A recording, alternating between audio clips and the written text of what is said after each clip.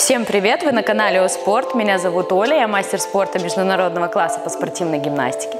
Веду Woman Fit в клубе единоборств О Спорт. Сегодня мы разберем упражнения с фитболом.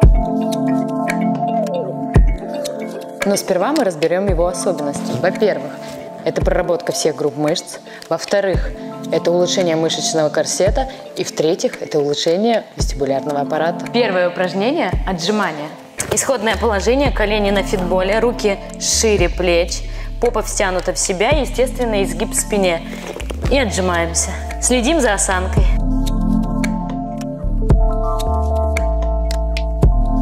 Второе упражнение – планка.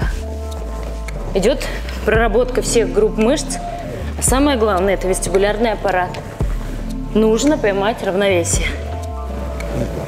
Исходное положение лежа на полу Таз должен быть прижат к полу.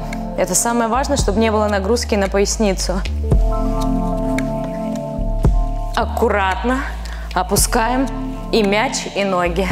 Постепенно и медленно. Прорабатывают все группы мышц. Следим за спиной. Колени прямые. И обязательно дышим. На усилие выдох.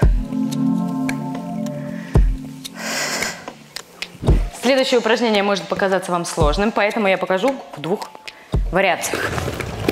Исходное положение, упор лежа, таз, спина в естественном положении. Подтягиваем колени к груди. Попа втянута, положение планки. Дышим. И второе, более сложное. Руки немножко подальше.